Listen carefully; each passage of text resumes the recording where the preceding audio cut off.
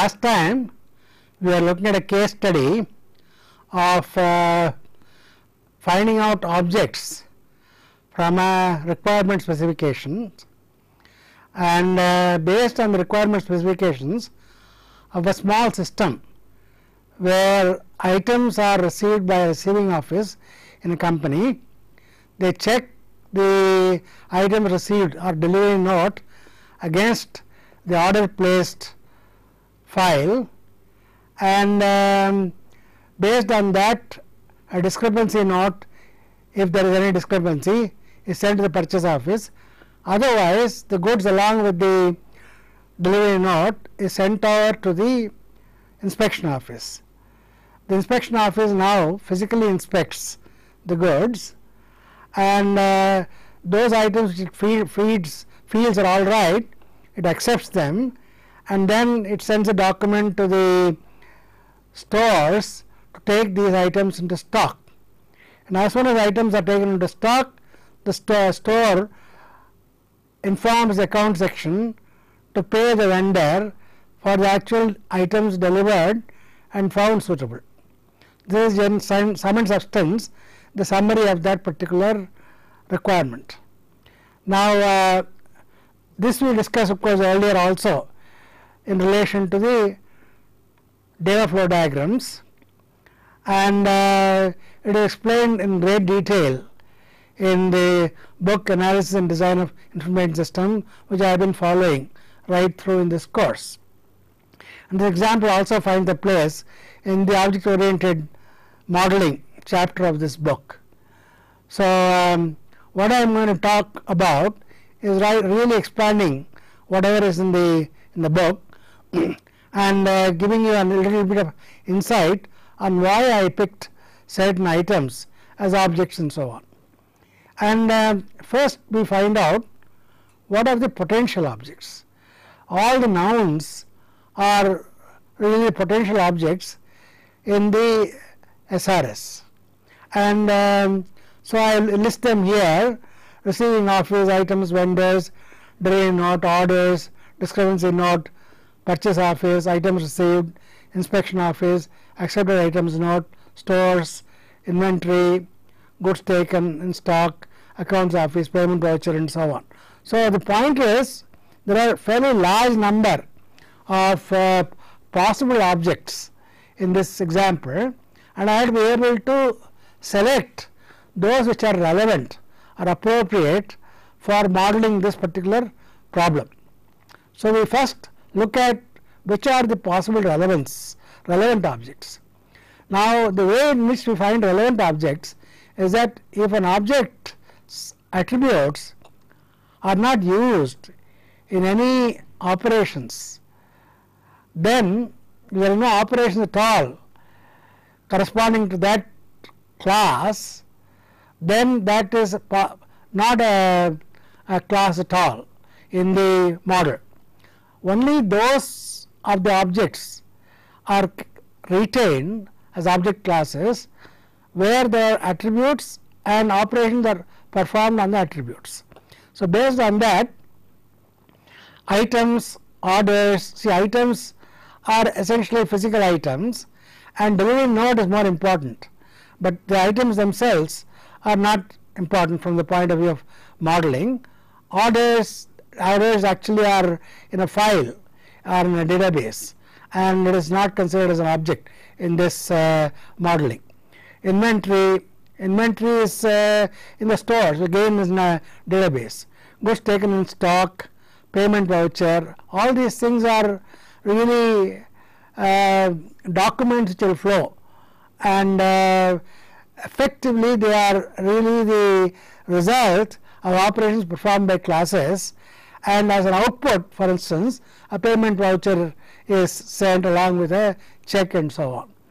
So, the relevant objects are receiving office even though the receiving office by itself has no attributes which are uh, which are there, but uh, its attributes are derived from the delivery note and the order to vendor because the receiving of office's job is to compare delivery note with the um, order to vendor and based on that it has to decide uh, to send a discrepancy note or not a discrepancy note and of course to send also the items over to the inspection.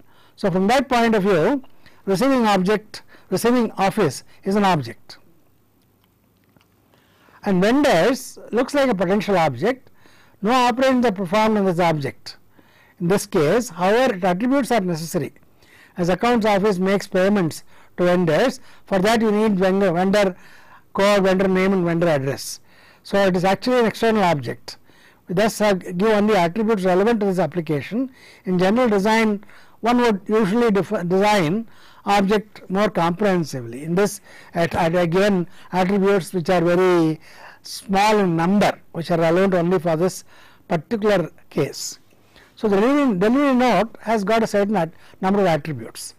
One is the uh, receiving clerk ID. Again receiving clerk ID is there for purposes of uh, audit trail. In other words later on you want to find out who received the items and who compared the delivery note against the orders has to be pinpointed in order to be able to make sure that no errors are committed. And even if errors are committed you can pinpoint responsibilities. And uh, of course errors are one possibility. There could also be frauds committed. So, from that point of view it is very important for particularly when you uh, get important uh, documents like delivery note and so on into a company the ID of the person who actually did the scrutiny has to be uh, kept in the permanent store till such time that this entire uh, document uh, gets through the system and uh, all the actions are performed or all the operations are performed.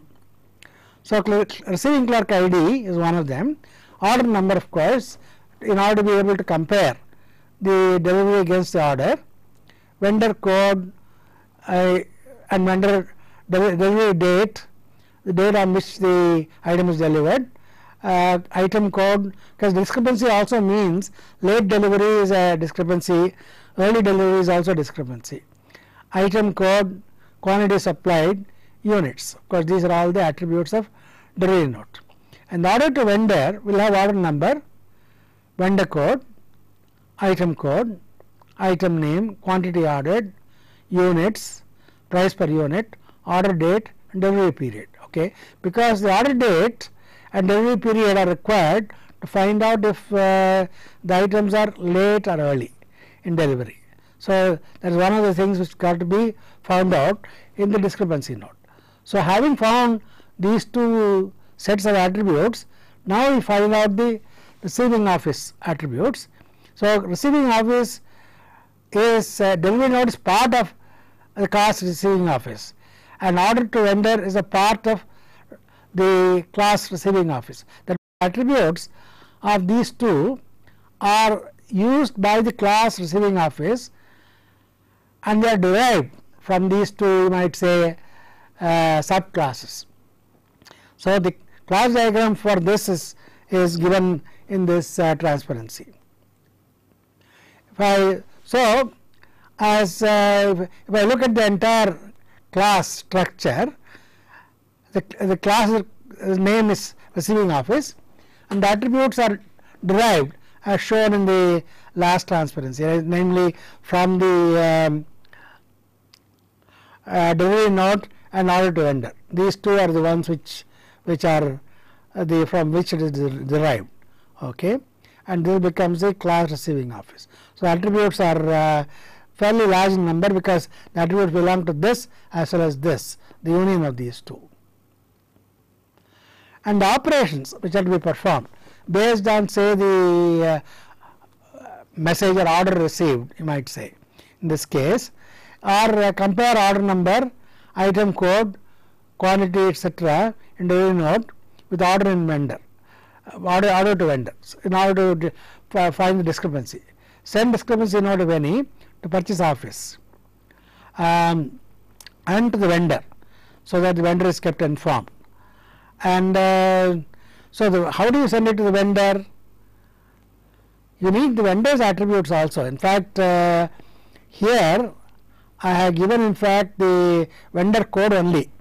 The vendor code has to be used to find out the vendor address and so on. So, it may be a, a good idea to also put the vendor uh, attributes which is here as some more attributes. So, you might say the class uh, receiving class office has attributes of both uh, delivery note uh, order order to vendor both of these plus that vendor in order to be able to if you decide discrepancy note is to be sent to the vendor also. If you do not send a discrepancy note to the vendor then it is not necessary, but normally it is a good practice. If you find a discrepancy you better inform the vendor right away because later on otherwise there will be some dispute. If there is no discrepancy send a note to the purchase department so that the purchase can now um, even otherwise uh, even if say discrepancy as well as no discrepancy either way the purchase has to be informed that the items have arrived okay and uh, send the actual delivery note of items which came to the inspection office object. So, inspection office is uh, got to uh, it has got derived attributes of delivery note and number of items accepted okay uh, because uh, if there is any discrepancy the uh, discrepancy and also this inspection office job is to actually determine what are the accepted ones and uh, so the number of items accepted becomes a part of the attributes. So, number of items delivered is what comes in the delivery note okay because some of them may be rejected because of poor quality. So, operations are sell information on accepted items to store and accounts okay as soon as inspection is over whatever uh, information is to be sent on accepted items there is a number and so on has to be sent to the store and uh, send discrepancy note to purchase office and to and to vendor. Okay. So again um, in this case uh, the derived attributes of delivery note plus number of items accepted plus also vendor attributes. Vendor uh, vendors attributes has be taken. If uh, you want to say at the very beginning of or if you can leave it to the purchase office to send this information to the vendor then the attributes of this um, inspection office as well as the receiving office need not have them okay the question is whose responsibility is it to send the intimation to the uh, vendor. Normally, it is responsibility of the of a single point namely the purchase office. So, in fact, if I look at the purchase office uh, thing, uh, purchase office also uh, if, if it sends the um, uh, discrepancy note then purchase office also becomes an important class because then it has got a function to perform okay, or it has got some operations it has got to do. Otherwise, it is not part of it. So, it is a question of to some extent subjective. See, you have to decide uh, on what basis you do one or the other, okay, and it depends on the policies of the particular uh, company. It may vary from company to company to company. So, there is nothing which is very sacred about this. Okay, there is a, a particular modeling method because modeling method depends very much on the actual uh, customer. The customer has to essentially tell you what is the actual procedure which the customer uses. So, um, operations of the inspection office I have already uh, described and uh, stores office attributes are that of inspection office plus uh, quantity in stock because uh, now you are going to update the quantity in stock by whatever is sent by the inspection office.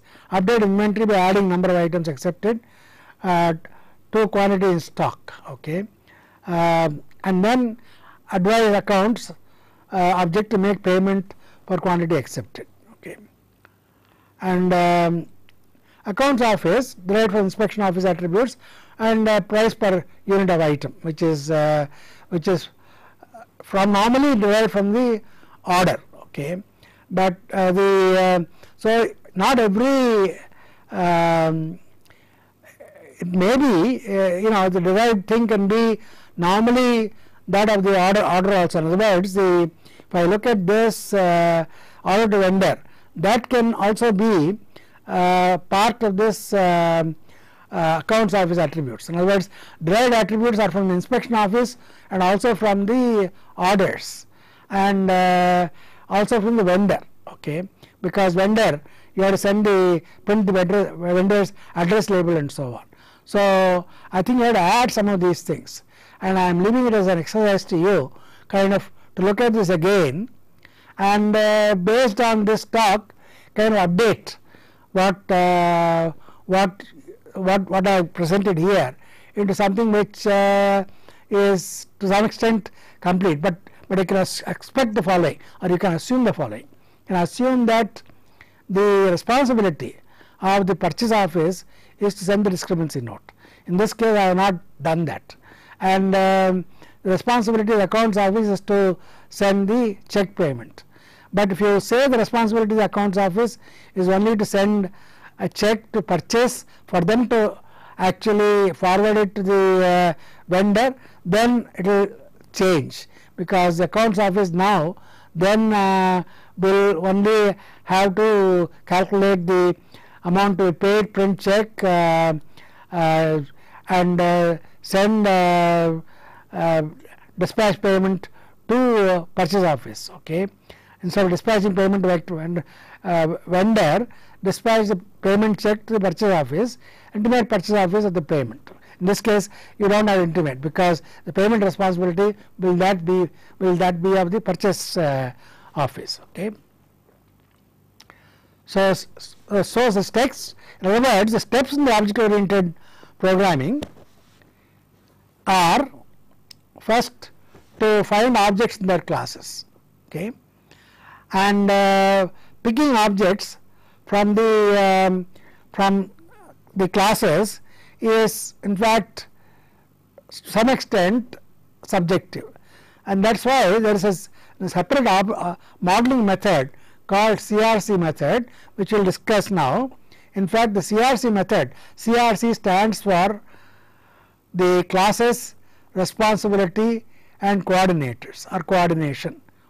In other words, the whole idea is to find out the classes, find out the responsibility of each class and find out its collaborators with whom it collaborates in order to be able to do its function. Because uh, uh, if I look at it, look at classes as contractors which carry out contracts, no contractor will carry out contracts by himself he will use the help of other contractors for some other uh, aspects of the work which uh, he finds others are more expert at doing it rather than he is expert at doing it. Similarly, in this case a class when you break up something into set of classes the whole idea is that the classes will collaborate or cooperate with one another to get the whole problem solved. That is why it is called classes and each class got responsibility and collaboration and the collaborators and how the collaboration happens. So, the steps in this modeling method CRC modeling is actually uh, uh, by that it is a method which has been proposed by uh, three um, experts uh, and uh, those three experts uh, are the ones who kind of uh, uh, gave this idea and um, so the as the experts have done a fair amount of practical work in companies and so on, the method has been found acceptable by many um, uh, many organizations. Okay, and it is not the only method. Okay, there are many other methods, out of those methods I found uh, the CRC method to be a reasonably simple method to understand and explain and that is the reason I picked this CRC method in um, in my presentation. Okay. So, in the CRC method you first find objects in their classes which we have done in the example in the case study. Determine responsibilities of each object, what they are supposed to do you don't worry about how they are supposed to do. This is the most important thing. In all of this object modeling, You only are concerned about what the object is supposed to do and what are the attributes which are relevant for that object class to be able to perform the operations assigned to it or responsibilities assigned to it. Okay. So, returning the responsibilities assigned to each object. State responsibilities that is operations or actions to be performed. It, it, can, it can carry out on its own sometimes some actions and uh, using its own knowledge or it needs collaboration, determine objects with whom they have to collaborate because they don't have the information required. Okay. So, who are the collaborators? State contracts each object has with its collaborators. In other words, what does it expect from the collaborator in terms of in other words you the object object class will send a message to collaborator if some service is required. So, services required are is triggered by a message uh, which which flows to that. Message may actually be a nothing nothing but a document which flows. The document flow may actually trigger that particular action. A collaborator either performs the requested action or gives information. Okay, like you know you uh, you can think of vendor as a, a class. The vendor does not perform any operations, but the vendor is a collaborator in the sense that when the inspection office or uh, the purchase office or the uh, receiving office requires information about the vendor, attributes of the vendor, it sends a message to the vendor vendor object and requests for the uh, attributes which are relevant okay? And the vendor object uh, will return in that case the attributes are which are relevant okay? So if the vendor object has got that responsibility and it is a collaborating class then it will have some operations also incorporated into it. In our model we didn't do it but can in fact be done you can make it as a as a separate object and have attributes which are really to uh, which, which uh, the the operations which are really to respond to requests for the uh, address and so on okay? Uh, so you can say uh, operations are send address uh, and send send send attributes of vendor when requested. Okay, that can be the operation in that okay um, a collaborator either performs a request requested action or gives information. Document each class, its responsibilities, its collaborators and their responsibilities. That is when you do the actual um, documentation because one of the most important parts of any modeling exercise is at the end of it a clear document should emerge and that document should become the uh, basis on which the entire modeling exercise takes place. And in all modeling exercises, it is never a one shot affair. A modeling is always iterative. In other words, you will do with a rough model and while discussing the rough model with uh, your users and maybe with your own colleagues, you will find that you may find that rough model has got some aspects which it is not covered properly. So, in this case you got to go back and add more objects like in fact I have done that while I was talking okay, to illustrate the point that modeling is never a one step affair. You come up with the initial model, you understand, you suddenly realize or your uh, colleague may realize or your uh, user may realize and give you some further inputs so that you can refine the model and the refined model is one which is finally documented. But normally even the intermediate models are all documented so that the versions change and the final version is a version which will be sent for actual design and implementation. So, the earlier versions will be there just for your reference and uh, depends. I mean, may, if there are too many of them, you may just discard and keep only the last two versions. It's entirely up to uh, the practices in a particular company, but it's very important to document and have a document at the end of the modeling exercise. And um, so there is a, one of the parts of the document is called an object interaction collaboration graph. So you create such a graph and that gives a pictorial view of the classes, their attributes, their operations and their collaborators and how do the messages flow between these collaborators and how the actions operations are actually uh, you know, uh, what operations are actually performed. The how the operations are performed as, as I said is really a detail of programming.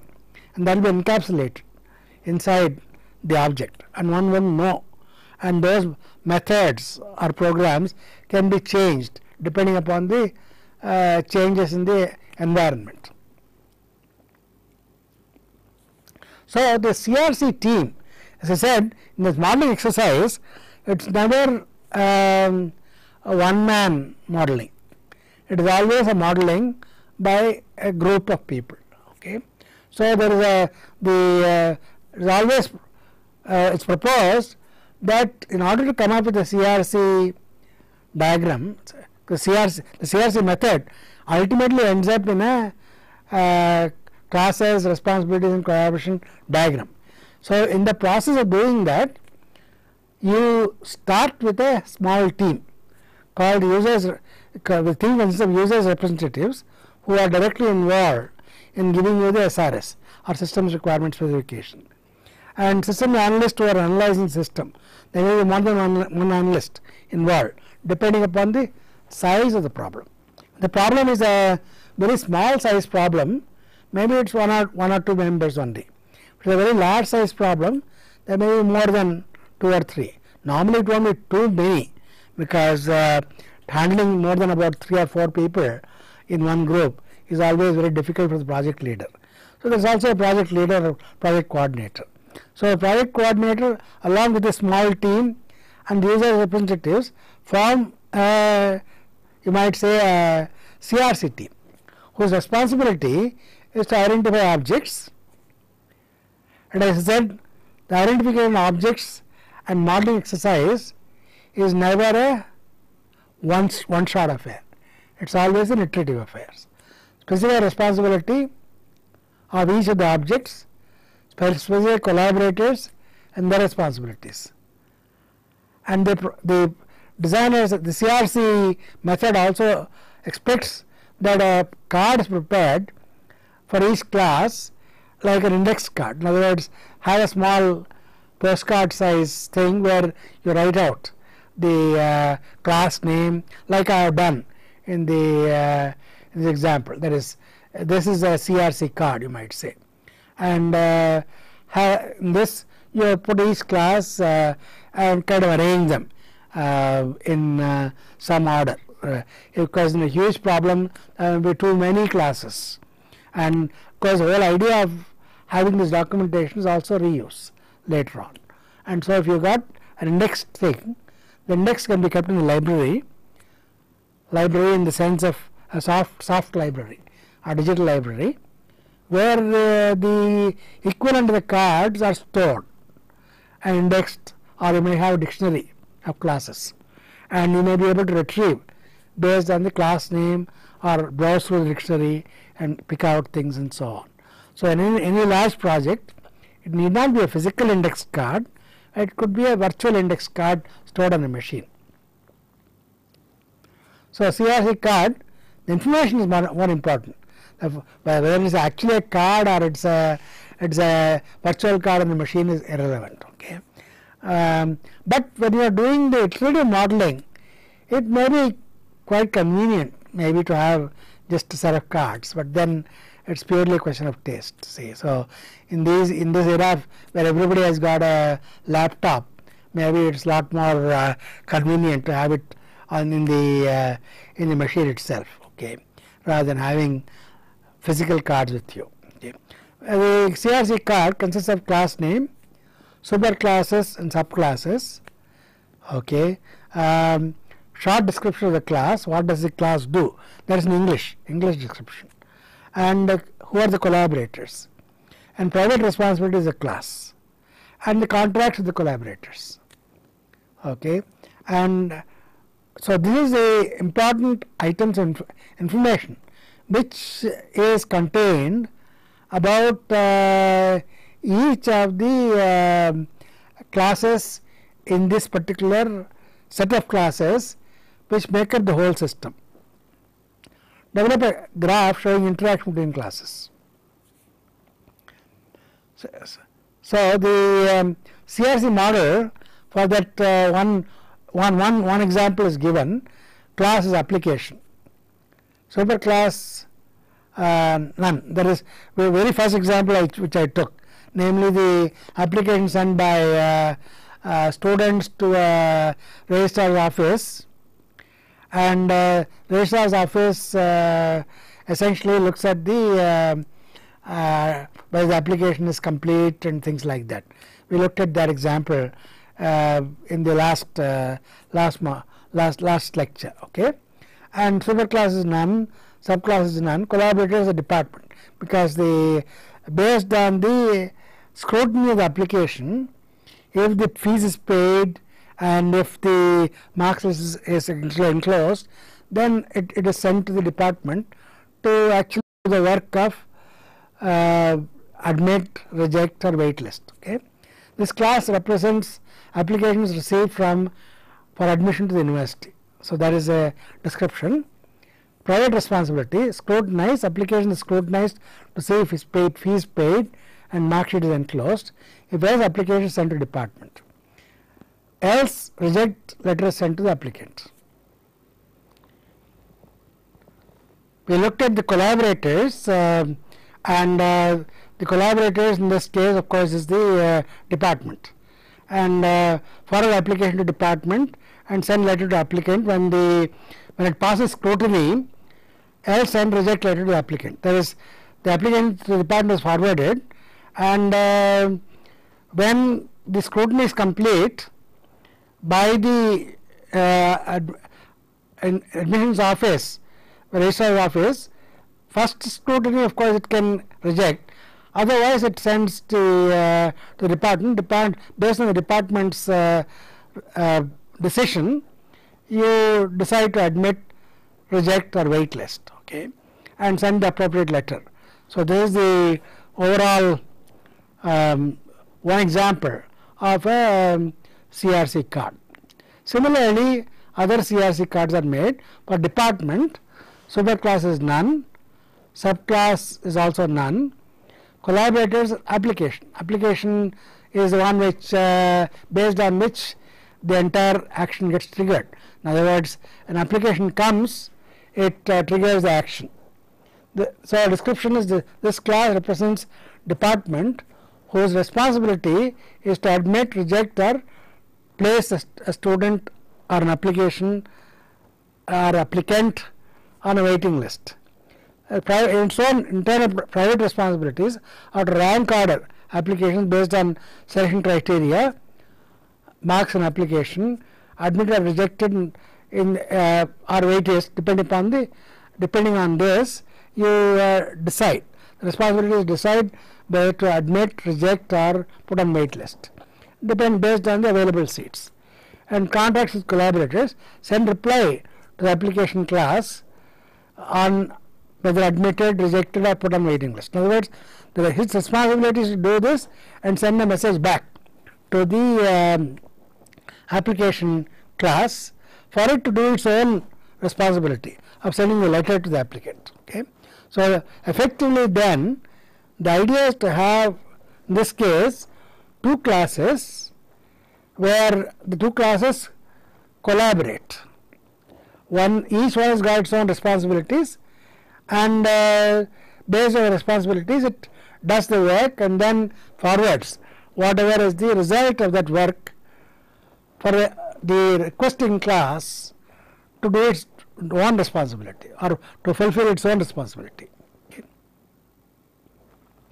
So, the top diagram here is um, applicant, the class application is um, has the responsibility of admit, reject or wait list. And uh, class application sends a request to the class department. And the class department uh, sends the application status whether it's admitted, rejected or waitlisted to the class application. And that in turn uh, informs the um, applicant. Similarly, we can make a collaboration graph for the second example where there is receiving office, inspection office, purchase office, accounts office and stores office. Okay. So, the delivery, delivery note is the one which triggers the, the, the responsibility of the receiving office is to actually compare the delivery note against the order placed. This is, we are described in great detail, but this only gives you an interaction and from that it, it collaborates with the class inspection class inspection office which does the job inspection. Their private responsibility is to inspect and send a discrepancy note if any. Okay. The class receiving office um, also may send a discrepancy note to the class purchase office if it if it that if it so decided. See, as I said, it depends on the particular organization. It may decide that only inspection office will send everything. Okay. And um, inspection office also has the responsibility to tell the stores office to update the inventory and stores office has the responsibility of updating inventory and then informing the accounts to make payments and account office has the responsibility to make payment to the vendor and simultaneously inform the purchase office that a payment has been made okay so this kind of completes the cycle of of uh, classes, their responsibilities and their collaborators. Okay. So, this general method which is used uh, for the use for for modeling objects and um, that is exactly starting with this in this particular module we started with a simple question what are objects and object classes.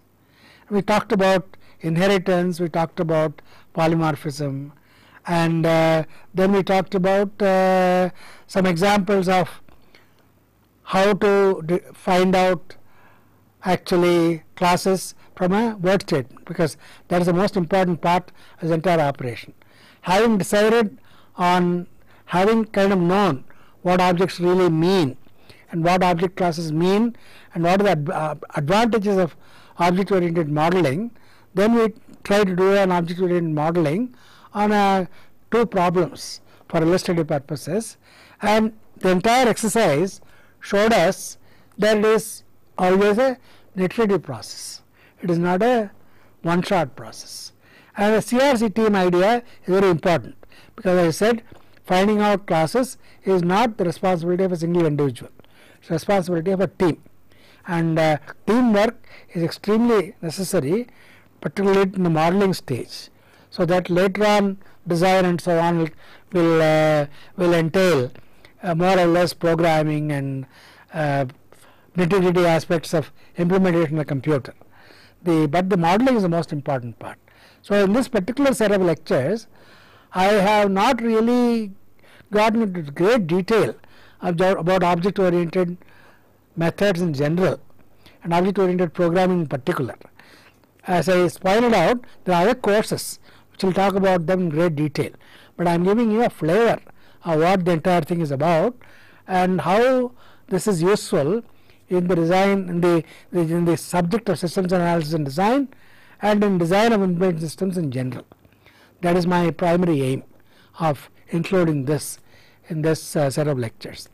So, I would urge you to look at some of the exercises in the book do it yourself and maybe uh, take some of the earlier examples which we looked at in a structured method namely the decision tables as well as uh, um, using um, structured English and so on and also go back to the uh, data flow diagrams and try to kind of relook at them and model them using the object oriented idea.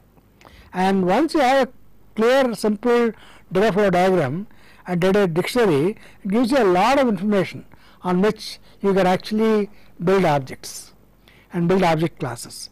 I would really also suggest that you mimic a small team with uh, two or three of your classmates rather than doing it yourself. And as a collaborative effort, you try to kind of make this uh, object modeling exercise. That also kind of give you a flavor of cooperation among systems analysts to be able to come up with a modeling exercise, particularly for a large model. That probably you will have to do in your projects and so on. But uh, to conclude then, uh, the uh, trend nowadays is to effectively use a stand object modeling as a standard and object oriented system design as a standard in a large number of applications and this really becomes relevant in programming in the large rather than programming the small in very large problems. And it, it actually the advantage is that it uh, it allows uh, reuse uh, of uh, earlier classes which are designed and uh, it also allows changes as things proceed and as uh, uh, generally business rules change you can also easily adapt the objects particularly operations the objects to the new environment or new requirements okay. So, it is easy to accommodate new requirements or modified requirements if you do an object oriented modeling. It also be a, a good good method of actually hiding the implementation details. And reuse is a very very important part of this entire exercise. So, having completed this we will go to the next topic which is uh, actually designing of outputs.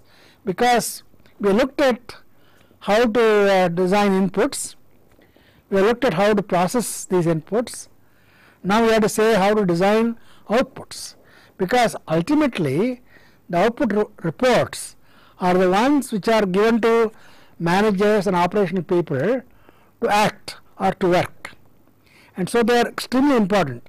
In very many situations I know in practice, your design may be excellent, but your outputs may not be satisfactory from the user's point of view.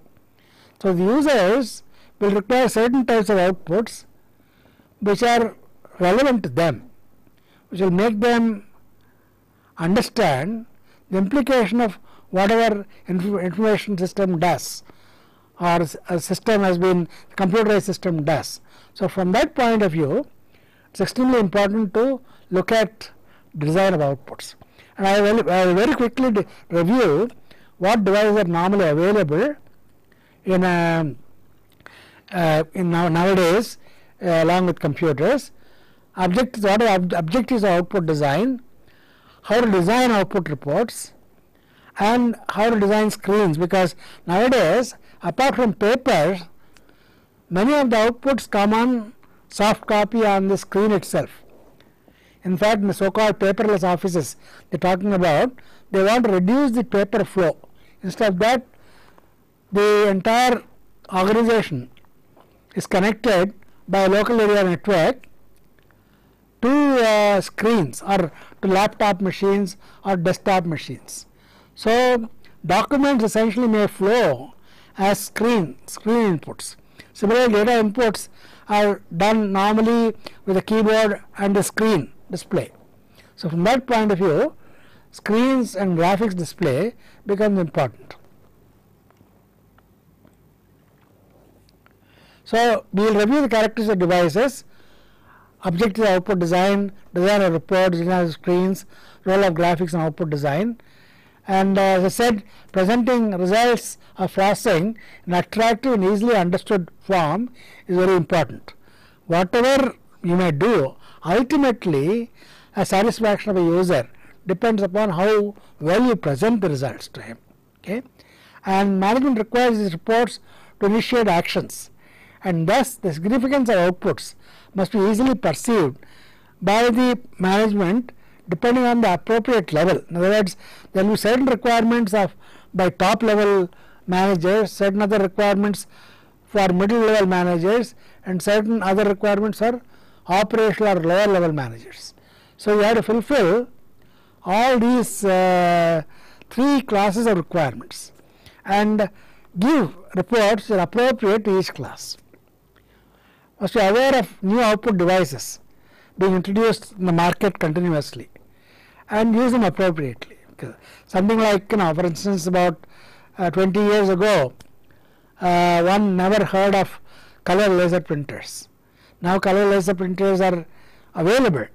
In fact, uh, black and the monochrome laser printers or black and white laser printers have become very inexpensive, comparatively inexpensive. And similarly, inkjet printers didn't exist uh, 20 years ago, even 10 years ago.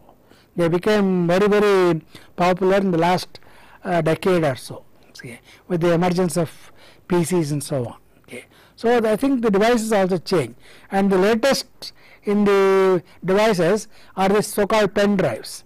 The pen drives are uh, replacing uh, floppy drives Uh, which are pen drive are nothing but um, read only memories in which you can store up to almost 2 gigabytes of information and they are becoming easy to you know uh, uh, less expensive than before and very convenient to carry around and and store store data and so on. So, what I am trying to say is that from time to time to time devices also change and you have to kind of update your own information about devices what is, what is available in the market. Similarly, you should be aware of changes in output delivery mode with the emergence of systems like intranet, internets and so on. Uh, we also have to cater to new applications like e-commerce uh, which uses the World Wide Web. So, there is a new uh, method of inputting data and, and in e-commerce entire uh, very often the customer himself uh, does the data input and uh, does the order by just clicking on, on, a, on a button on the screen. So, you have to design uh, input uh, appropriately the screens for such applications.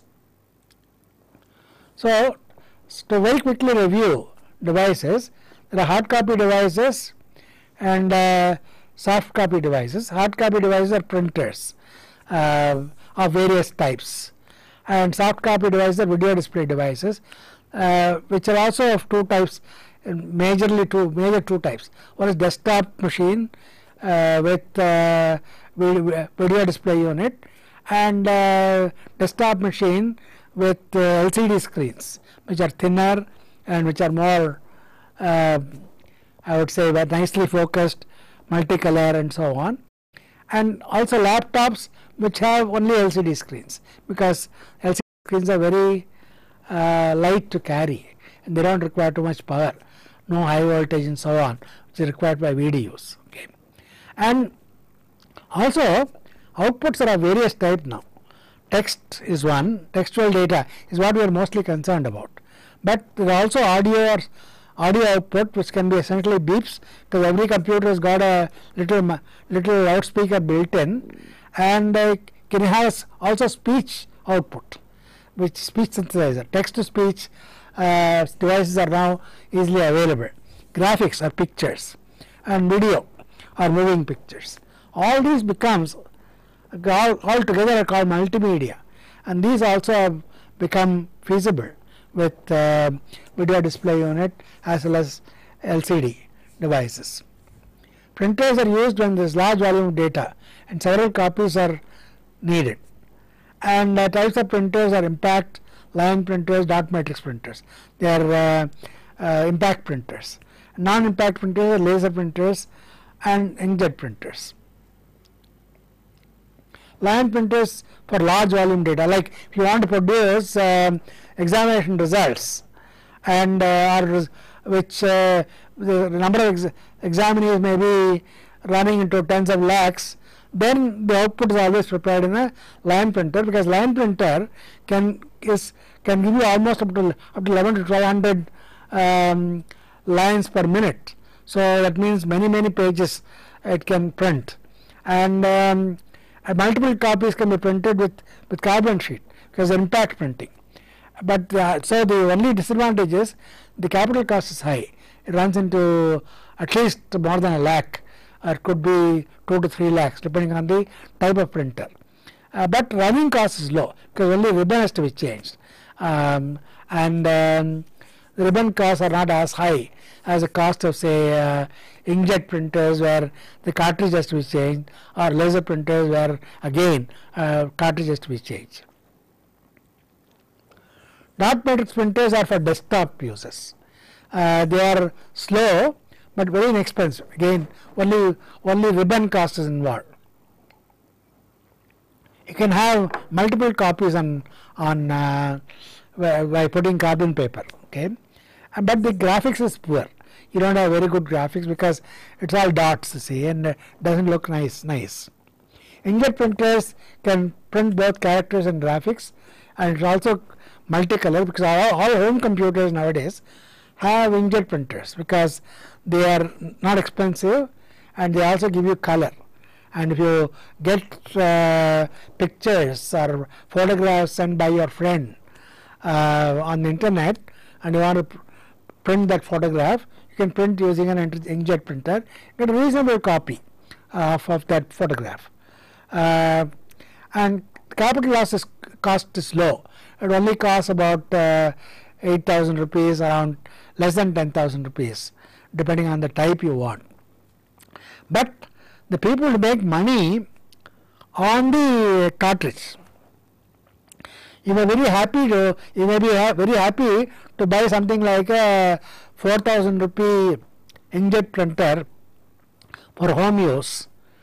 But you will get the shock of your life when after the inkjet uh, cartridge runs out you want to go and buy another inkjet cartridge and it will he will tell you that it costs 1000 rupees. And so one fourth of the cost of the machine. So in other words in fact my many of these companies make money on the consumables rather than the on the uh, on the machine itself. Because consumables you continue to spend money whereas capital cost you spend once and for all. And uh, ink, ink uh, the color will be slightly more expensive. And so the point is another problem is with inkjet is that if you don't use it regularly if you let it don't use it for a week or so at home it may dry up.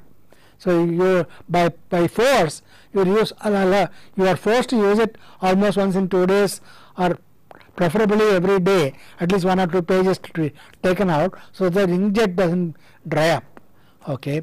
And but then as I said the, the, you have to make a compromise between the cost and so on.